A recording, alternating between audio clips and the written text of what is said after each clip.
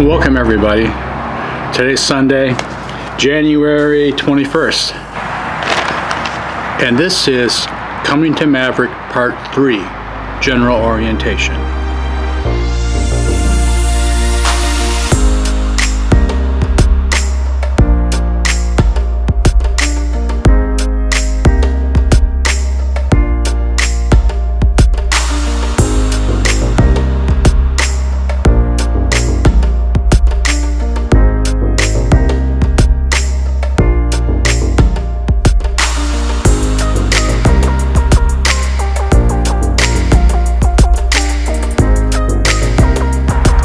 Split coming to Maverick 3 general orientation. I made it a little sub change. I decided that the agility test, drug testing procedure, and the DOT physical part would probably have a section of their own. So I'll be working on that.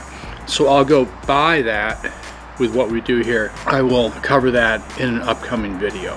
The Maverick campus is a like a gated community.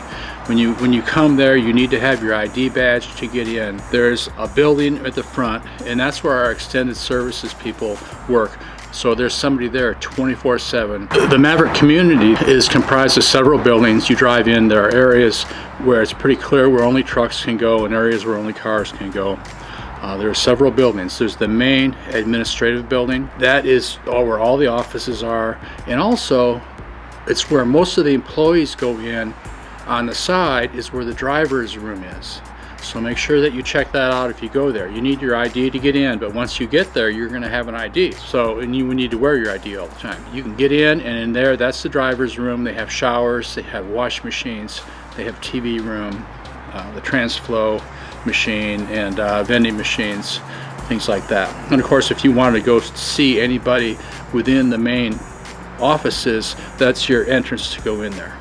They also have our whole training building, which is a standalone facility. It has seven classrooms, I believe, a large general meeting area where we have all the meals. Then we have some offices. It has two floors. And then we have all of our securement bays. And we have room for you know, probably five, six trailers to be in there at one time. I don't know exactly, I can't remember but there's a lot. That's where you'll do all your securement training. The general classrooms are all equipped with computers and projection screens and a little area in the back where the staff can sit and work on grading things. Uh, Maverick is very uh, technology savvy, so to speak.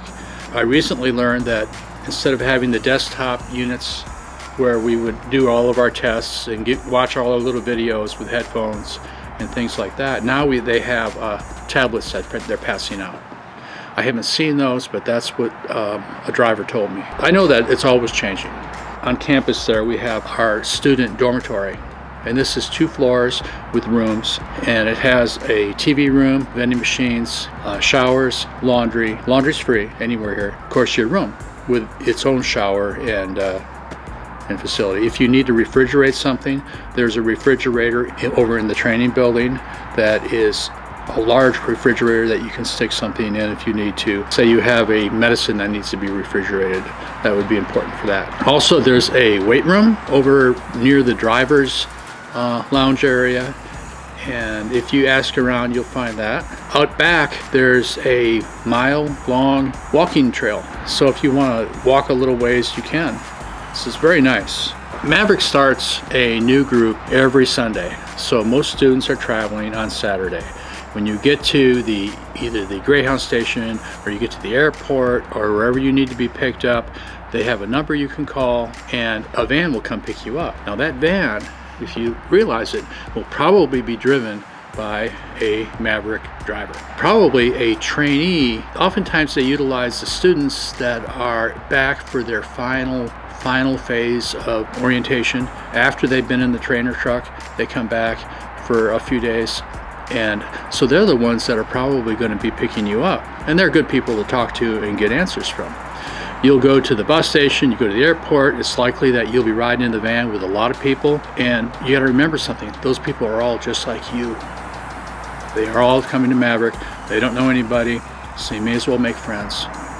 You will get a packet of information when you arrive. In that packet, you'll have your ID. It'll have a a big O for orientation on it, and that lets you get into the buildings. You'll have your room information, where you're staying, you'll have kind of a schedule, and the first day you get there, you'll probably have some homework in that packet. Probably some either a trip plan or, or something they want you to figure out. It'll keep you busy. On Sunday morning is when it, everything starts.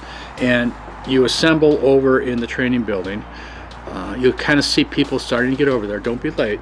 You'll have breakfast over there. You'll go in and you'll sit there. There'll be introductions. Uh, the instructors will all introduce themselves. Everybody will introduce themselves. Then you'll have breakfast and then you'll go into the classroom. Depending on, on the size of your group, you may go into two classrooms. They've been known to do that. When I was there, there was only one. There were like 24 of us. So then you have assigned seating. You go in there, you see your name at a, at a place, you go, you sit down, get out your notebook, turn your phone off, put it away, you're on the way. All of Sunday, Monday's different. Monday afternoon, Tuesday, and Wednesday and Thursday morning are spent in what we I call the phase one orientation. And you're going to be signing a lot of forms, watching a lot of small videos, getting a lot of information, making sure all the paperwork is taken care of. You'll have people come over from human resources. You'll have safety people come in and introduce themselves, talk about things. You'll have information about the insurance packages. Everything will be covered during that those first few days. So it's really important that you, you pay attention, take notes, and, and really kind of get an idea of what's going on. Intermixed with all that, you're introduced to hours of service, you know, trip planning, learning the Maverick way, how Maverick wants you to, to do your job out there. So those are very good days. Food, I told you you had breakfast. Every day when you're there as a student, you will have breakfast and lunch. And they are really good, really good food. Dinner, is on your own. Eat a really big lunch, you can make it through. Generally speaking, uh, what happens is you go back after class, people assemble and they're working on homework, they're touching base with their families, they're doing various things, but there's going to be somebody that's going to say, let's take a van and go to get some food. If you see a van, they've got two or three vans there, big ones, and you guys can drive those. You got to sign them out, you get the keys, and then you can drive and you can go go to Walmart, places like that. You can go and get food. Now the vans aren't meant to go someplace and stay there for extended periods. But if you have a whole van full of people, you can go to a place. I know over by the Walmart, there's like three or four restaurants right there that you can take your choose choice of, and people go here and there, and then they meet back at there. On Monday morning, there is no breakfast, so make sure that when you're traveling or on Sunday, make sure that you have something to eat Monday morning. I can't really go until noon without having something to eat. So you might want to take that in consideration. One thing, there's coffee 24-7 available. And you can get it in the training building, in the student dorm, there's a coffee pot. And over there in the driver's lounge, there's a coffee pot. So always coffee available. When you do arrive, one of the first things they do is they give you a cash card, like a little credit card, that you can then use to go and eat on for the rest of the week until you get paid. And this is really nice. So you have some money. You are paid during your whole time at Maverick. When I was there, it was $550 a week, but I think it's gone up. Maybe it's like 600 now, I'm not sure but I know that you know things change and this video might be up for a while and so things could change like that. You will get paid every week. You won't get your first paycheck until you're there for a few days. So what you need to do is make sure that uh, you have a little bit of spending cash to get through the first week for your dinners. You shouldn't have any other money needs except for your dinners. That snack on or that breakfast on Monday morning. And on Monday morning you want to eat light because you're going to be doing the uh, physical and the agility test and all that. So you, you want to you don't want to go you know have stuff yourself. Starting on Sunday, you'll also be introduced to Mavericks tests. And when I was there, I heard that they've really cut back on the number of tests people take. But when I was there, it seemed like we took a lot of tests. Some were five questions, some were 10 questions, some were like longer. You take a, a long test on the FMCSA manual, the FMCSR, which is the regulations, the little green book, which they'll hand out to you. Of course, every test is open book and open note. So any notes you take, you can look at. So there's no excuse to get anything wrong unless you misread the question or you didn't take any notes and you can't remember. That is really nice. So it shouldn't be too difficult. One thing I want to note is that I started with a class of 24 pretty much all along the way, you know, Monday, Tuesday, Wednesday, and Thursday morning, we'd come back from a break. They give you plenty of breaks, and there wouldn't be somebody there. They left, and they could have left for a lot of reasons. I know a couple of them because I talked to them at the time. They said, "This isn't for me. I'm leaving." Maverick will pay your transportation back home if that's what you choose. So you're not stranded there. You're not held a prisoner. Some people were asked to leave. There were some people that could never quite figure out trip planning and could not read a map. That's important. You have to be able to do that. They were asked to leave. There were some people that just could not pass the tests. You know, they give you a lot of chances. They give you every chance in the world. They want you to succeed. You will lose people. By the time that we got through our securement training and we're ready to go out with our trainer, there were from 24 down to about 14 of us. That's to be expected. Even though Maverick does a, a really good job of screening people and having you, you know, do a lot before you get there, still, no matter what, that happens. On Monday morning, I told you, you don't have breakfast and you have your agility, your physical, and your drug testing, all that going on. I'm going to cover that later, as I said in the beginning. So let's skip over that and we'll go to Monday afternoon. And Monday afternoon just picks right up where Sunday left off and you are in the classroom the entire day. You get a lot of good breaks, you get breakfast and lunch, you can take care of your personal needs after class, there's plenty of time. You can run to Walmart, you can run do anything you want, but uh, you will have homework every single day. So you want to get uh, efficient at it. I did a trip planning example a few videos ago. It might be a good idea if you're planning on going to Maverick to practice some trip plans. One thing I didn't tell you in that video is that when you're there, you have to tie your logbook into it. You will be logging every day from the day you got. So you're going to be using a paper log in the beginning because it's important that you know how to use a paper log in case the, the electronic log fails. I've had to use paper logs, you know, three or four times because I had a problem with my Omnitracs. So you learn that, you learn how to recap your hours. It's really good because you learn all of that stuff and they really teach you well. It's good. It's good stuff to know. You feel good about it after that. One of the major points when you're in these early days is value-added driving, which is a program that Maverick has kind of bought into that is, is about safe driving. And it has some really good points. It, when I watched it, I thought, oh yeah, you know, this makes sense, blah, blah. But as I started driving more, and the more I drove, the more I realized that it is perfectly right. So when you do see the value-added driving information, pay attention to it because it really makes a lot of sense. I've got to say, it's the best driver training that I've received outside of back in 1980 when I was 25 years old and I went to Greyhound. Greyhound was quite a different company then. I spent three weeks up in Detroit and it was nothing but safety. It was amazing. But Maverick is a close second to that. So we've made our way through that week. You're getting all of that stuff. On Thursday, you are formally offered a job with Maverick. You put your signature down, they come around, they shake your hand. You've seen the little videos on social media where it shows these students coming out of a room and shaking hands with a bunch of people. That is that Thursday morning. At that time also, you'll likely move from the dormitory on campus over to the exit at the highway right there where I-40 is and there's a motel over there the Galloway Inn that Maverick I think that the hotel would probably have a hard time staying afloat if Maverick wasn't there you'll be rooming off campus over there for the rest of your training now I think some groups depending on the size of the incoming group they won't move you over there if they have room on campus. So it all comes down to that. So that Thursday, they'll pass out your personal protection equipment. Everybody get a helmet. You'll get safety glasses, or if you're wearing glasses, they'll give you side shields, which may or may not fit on a lot of glasses. For me, then it became a choice, what am I gonna do? That's why I got prescription safety glasses. But I didn't get them right away. You know, don't go out and spend a lot of money unless you really feel like you're gonna need that right away. I, I would probably put that off for a little bit because it's kind of expensive until you get the ball rolling well. But they're gonna give you a vest and gloves. They give you arm sleeves that in case you don't have a long sleeve shirt, you could put on. And I, I never wore those. Kind of hot It's real tight. You're going to, after lunch, start securement training. You'll get a whole new group of instructors. And I really liked the group that I had when I was there were outstanding. Uh, they were real, uh, they were really good. They were all drivers and they, they know their stuff. It, it was pretty impressive. I really, really enjoyed my securement training.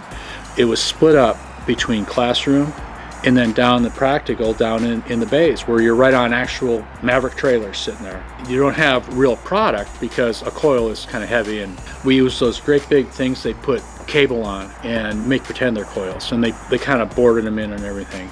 And then we use, for bar, we use uh, big lengths of PVC pipe, but you get the idea.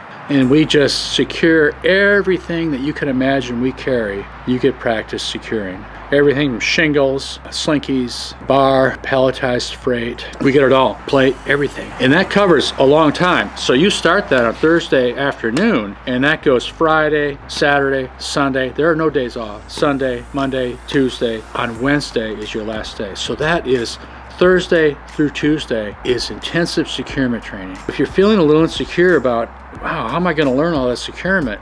You know, because you've seen in my videos, I'm doing this, that, and the other, and, and hauling a lot of things, and there are a lot of decisions that have to be made. Well, you get really good practice for that.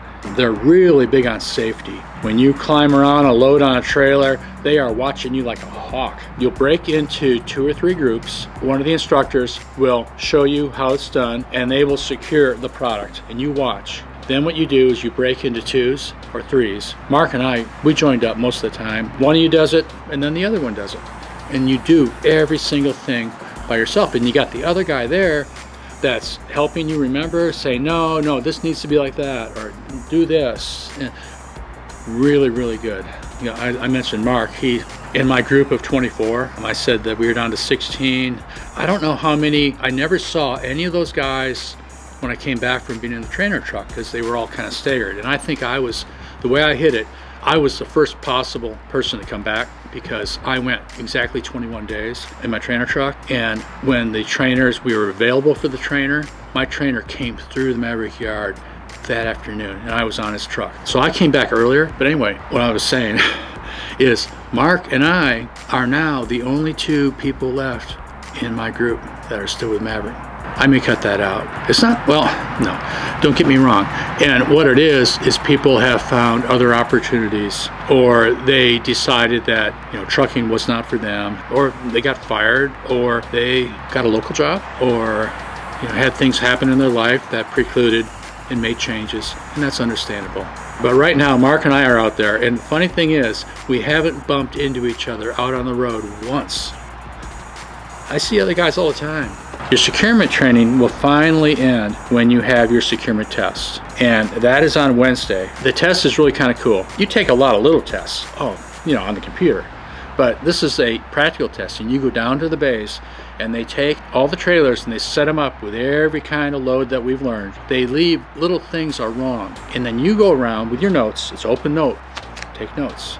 And you go around and you try to identify the problems and you write them down. It's kind of tense. Nobody can talk. They watch you really close and everything. It's kind of exciting. I don't know. It, it, was kind of neat, but everybody got through it, I think. Well, I don't know if everybody got through it. I think some people had to do it twice.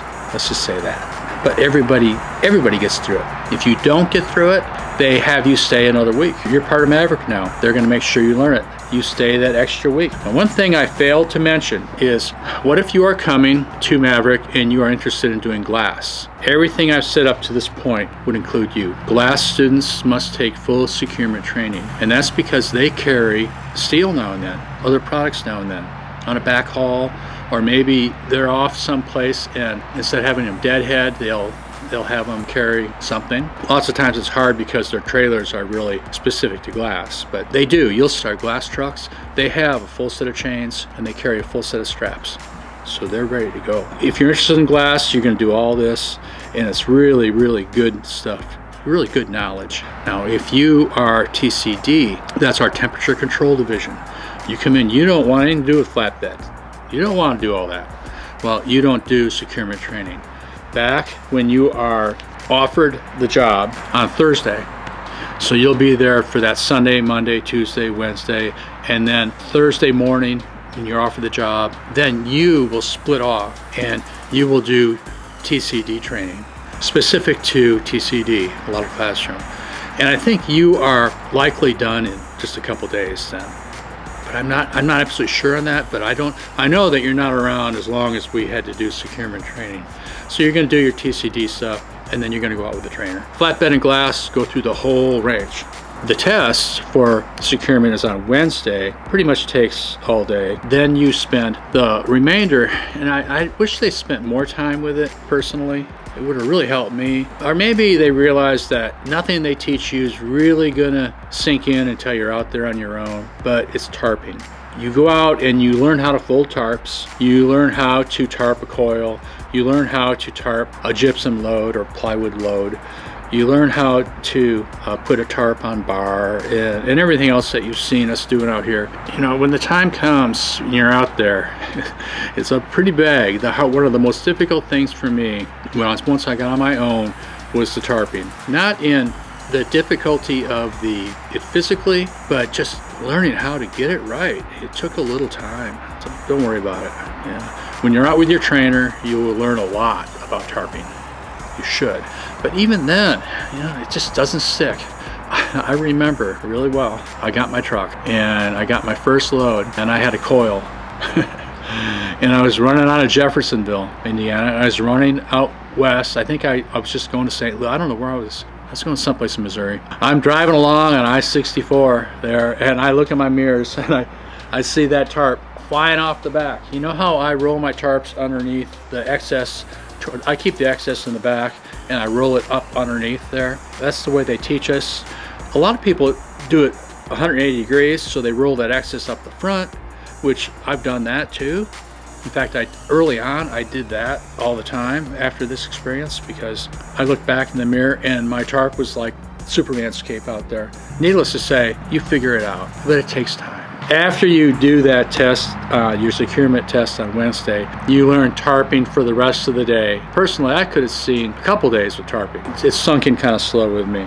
Thursday morning, you're then back meeting with the training staff that has more to do with they're the people you're going to be communicating with when you're out with your trainer. And these are the people, what they're doing is arranging transportation. Find out who your trainer is and you get a name and likely on Wednesday or sometime, you'll get a call from the trainer and they'll say, hey, how's it going? I'm going to be picking you up. Uh, we're going to be meeting up. You know, here, I'm right here right now. But you'll be meeting with the trainer staff, so to speak.